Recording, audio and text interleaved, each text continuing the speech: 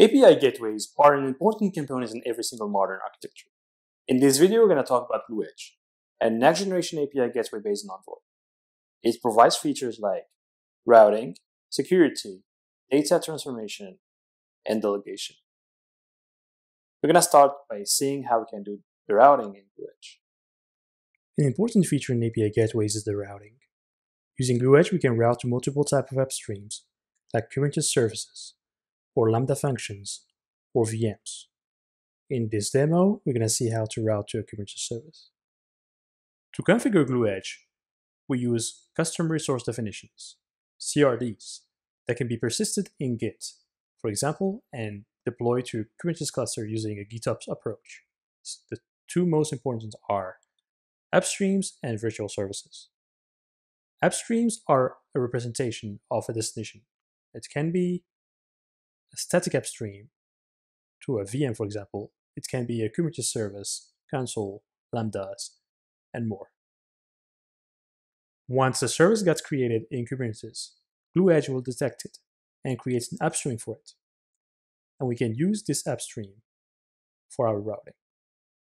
In this example, I have an application already installed, the Bookinfo application. Let's look at one upstream. An upstream has a type.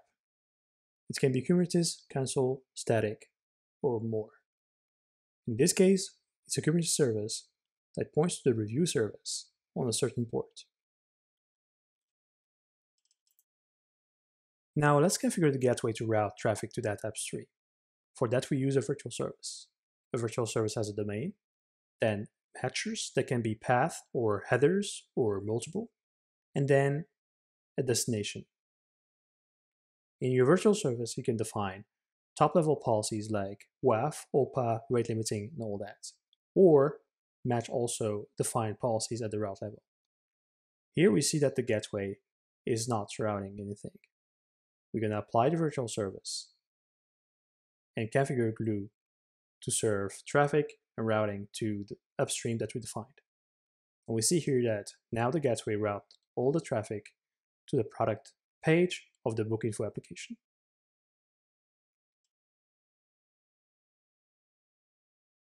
In certain scenarios, we need to route multiple upstreams, like when we introduce a new version of an application.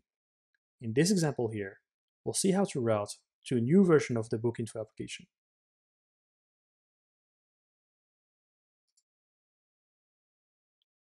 We see now that we route to two different upstreams, one serving the red stars and one the black stars. But Gloo Edge supports multiple types of routing.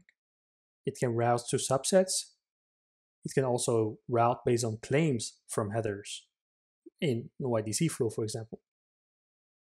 In the next section, we're going to see security and explore OIDC. Security is a key component of API gateways. Using Gloo Edge, we can secure traffic, enforce OIDC policies, WAF, OPA, and more.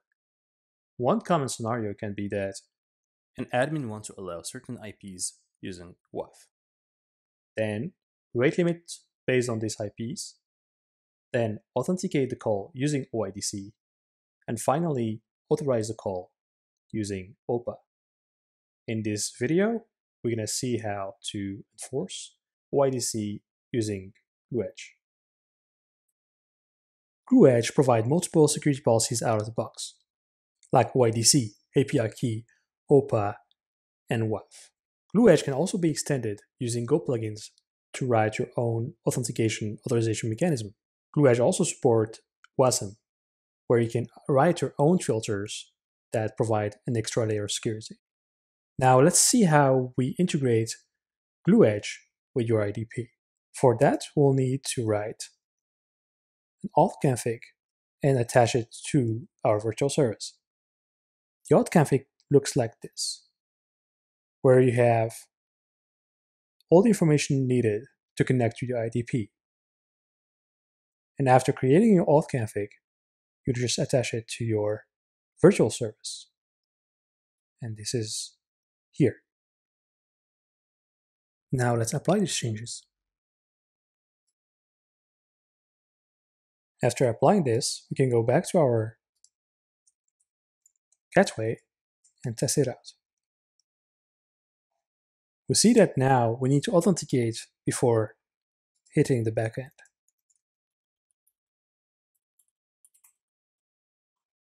This is how we integrate OIDC with Gloo Edge. This workflow can be extended, for example, extracting the claims from the JWT and route or rate limit based on it. In the next section, we'll see transformations. Gloo has a powerful transformation API where you can add header, remove headers, extract headers from a JSON body, for example, transform a JSON body, adding fields, transforming XML, for example, and more. The transformation feature can be extended using WASM 2. To demo the transformations, we're going to use a rate limiting policy, and then transform the error code to something more user-friendly. First, let's just create a rate limiting policy on our virtual service. Now, if I go back to the page and refresh a couple times, we can receive an error for 29, meaning that the API got rate limited. Now let's make this page more user-friendly. We're going to modify our virtual service to add a transformation. Every code 429 on the response will be transformed with this HTML. Then we're going to apply the virtual service. And see how this is going to be changed. Let's trigger a rate limit. And we see that now we received this HTML page that is actually a transformation got applied. In the next section, we're going to talk about delegation. Delegation is an important feature when working in a large company. Often, we need a team managing a virtual service at a top level domain applying corporate policy and delegating a part of the system or the API to different teams. For example, example.com will be the main domain and we'll have like WAF rules or rate limiting policy at the organization level. Then example slash API1 will go to team 1 and they can add retries or other custom policies that are needed for their APIs. Let's see how we do that in Gloo Edge. For that, we'll need to look at the virtual service, where we added the route table. A route table is a separate CRD that can be the delegation that a team can manage. Let's say this is for team one. Now, this route table can be attached to the main virtual service in the routing, and you can enforce RBAC on the main virtual service so the users can modify it, but they can modify the route table. And that's how we manage multiple teams, modifying their APIs attached to one virtual service. In this video, we explore how to do routing, data transformation, security, and delegation using Gloo Edge. But Gloo Edge can do more. We invite you to check Solo.io for more info, and thank you.